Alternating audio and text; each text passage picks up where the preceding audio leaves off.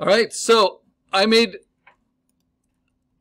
I made a mistake of layer organization and then had to re redesign the assets of the eyes, right? Because I'm looking at my stage, and you can always use Command Zero to frame everything up the same. So this was the the last. Let's get to the last frame. This is the last frame I had. And now I need the eyes to be in basically this position.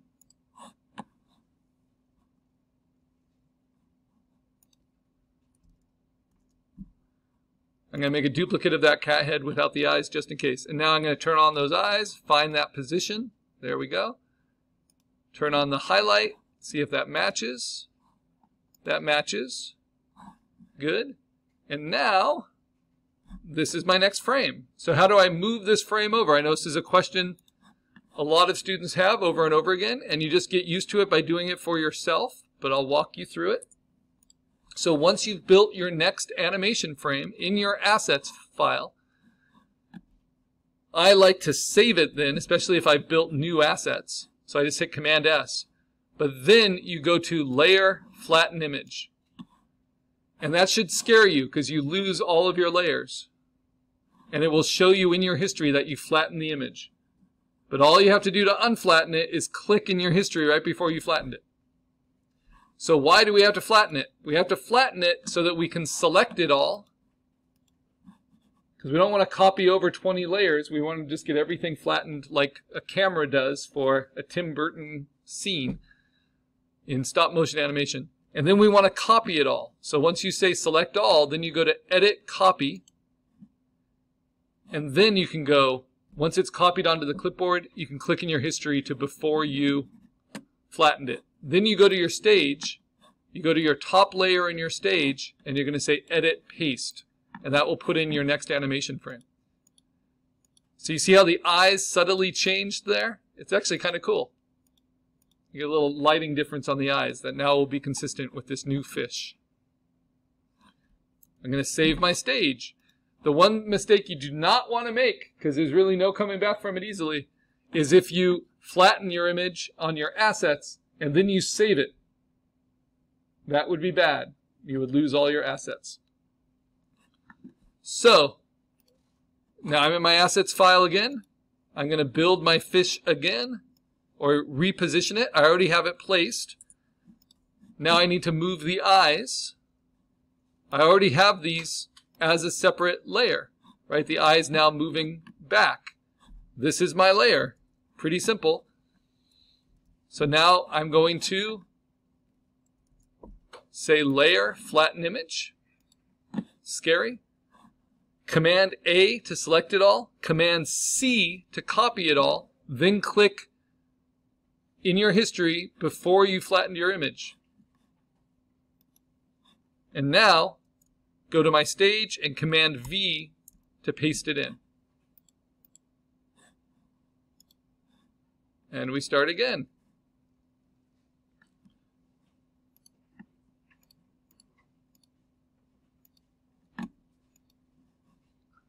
Now my eyes are going to be here, and the fish I want to use is going to be here.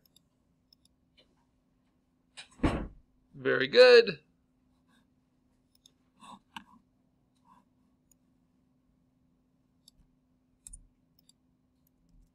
There's that little bit of debris around the fish, and you shouldn't, you don't need to be nitpicky, but what happens when you see something moving, if that little debris line is there, you won't see it in a still image, but when it's moving, you will see it, right? Because our eyes track movement very well.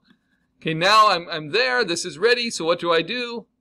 I tend to save it first because I've set up my next frame. So just Command S. Then I say Layer Flatten Image. And then I Command A to select it all, Command C to copy it all, click before I flatten the image, move to my stage, and paste it in. And at any time, I can kind of test the animation on my stage. And you know what? I'm seeing this, and then this is my next frame, and it's too abrupt. I need to add a frame where there's nothing except his eyes. So that's why we go back and we can recreate frames. So we can create in-betweens if needed. Come on, work with me. So right after this, there, I need to make a new layer 12, right? So I'm going to use this, and before I go to my last frame, I'm going to move my cat's eyes, and that's all I need is just this frame on its own. So what do I do? I say layer, flatten image, Command A, Command C, click before I flatten the image, go to my stage, Command V, paste it in. So now it's going to go like this. The fish flies off, and another fish comes in. Photopea is a little bit delayed, but that's where I ended up. Okay, good. Now I need to recreate that frame. It's already there because I went before I flattened. And move on to the next. And this is the fun one. This is what I've been working up towards. I turn off the eyes and show this one.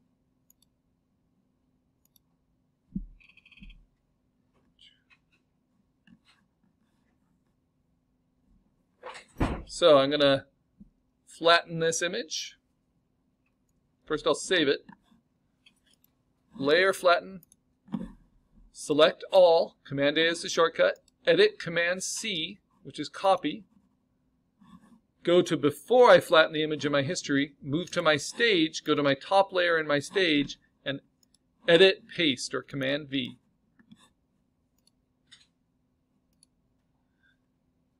Okay, now this fish is going to get sucked in. So not only does the head open up, but this fish is actually going to get sucked in like my inspiration right there. So how can I do that? I can use warp. Puppet warp is not great in Photopea. I can use it. I can show you how to use it. But just, it can be clumsy or it can just be warp. So I need to go to my assets first and recreate this image.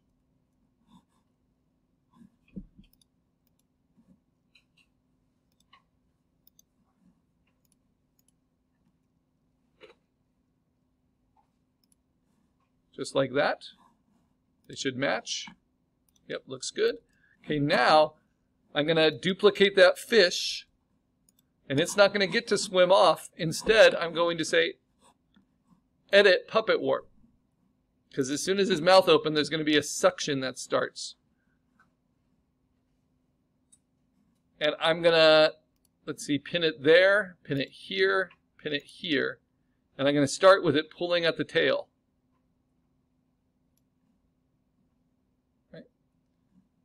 And stretch it kind of like that. Hit return. So what's the difference? It goes from this to this. It gets stretched out. Now I want to shrink it a little bit. So I'm going to do Command T, not Command T, Option Command T, because I'm in Photopea. I'm going to right click and I'm going to warp.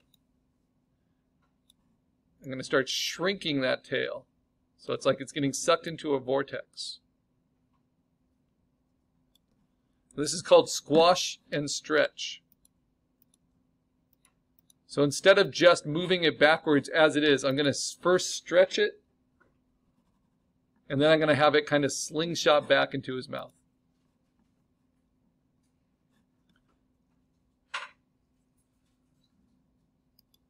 And I'm just going to leave the cat as it is, so we're focused on the, the fish transformation. So, what do I do? I say layer, flatten image, I select all. I copy all, Command C. I go back before I flatten the image in my history. And then I paste it to the top of my stage. So it starts kind of slow. And then, just like the Terry Gilliam inspiration, it's going to speed up.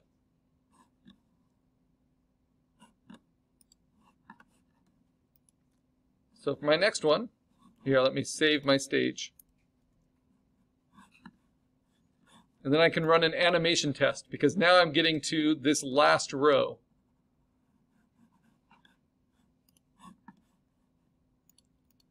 I'm trying not to be too ambitious.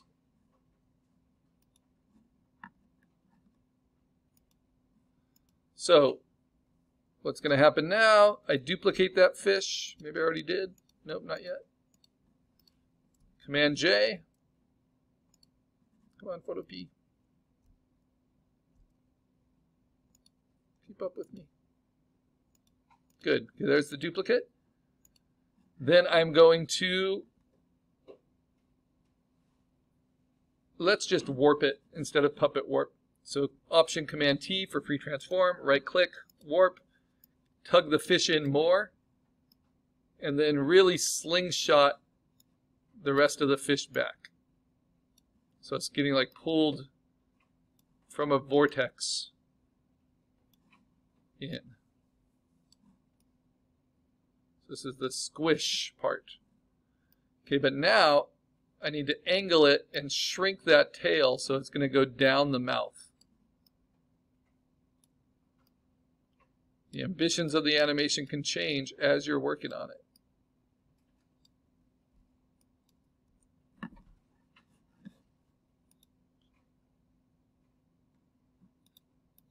So this fish is really getting distorted. And I hope that it's fun when it's animated.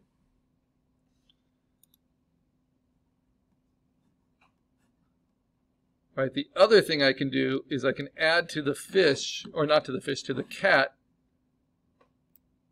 a little portion of it like this that I duplicate, and then I can move this up above the fish's tail. So it's like it's actually getting sucked down his throat. Right, so this is going to cover it up. I'll mark that as blue, just on top of everything. Okay, this is my next frame. So I'm going to go pretty fast. say layer, flatten image, Command A, Command A, Command C. It's a little tricky with Photopea if it's keeping up with you. Go to my stage, Command V, go back to my assets, go before I flattened.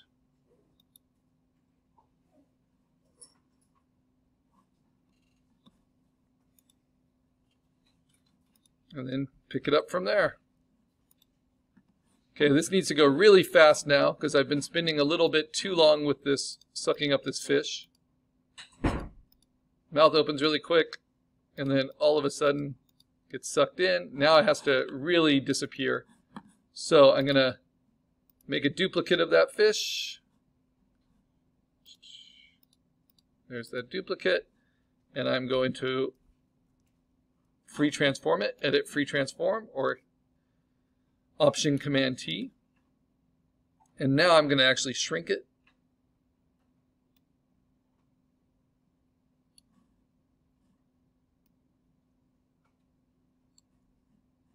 And angle it a little bit.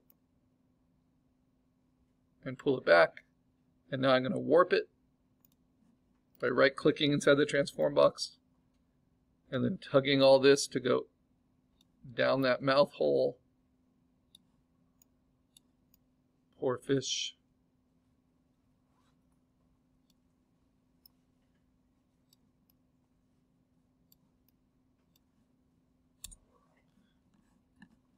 And then I'm going to save it.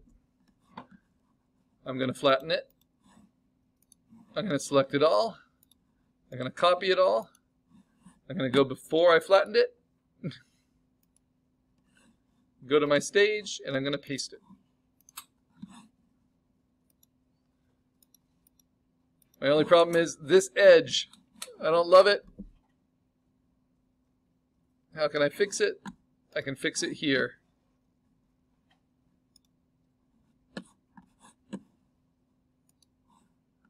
And let's see, I'll fix it by just softening that curve a little bit.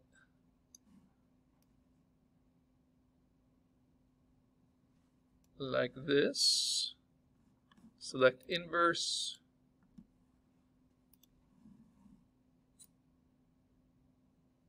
Deselect all of this.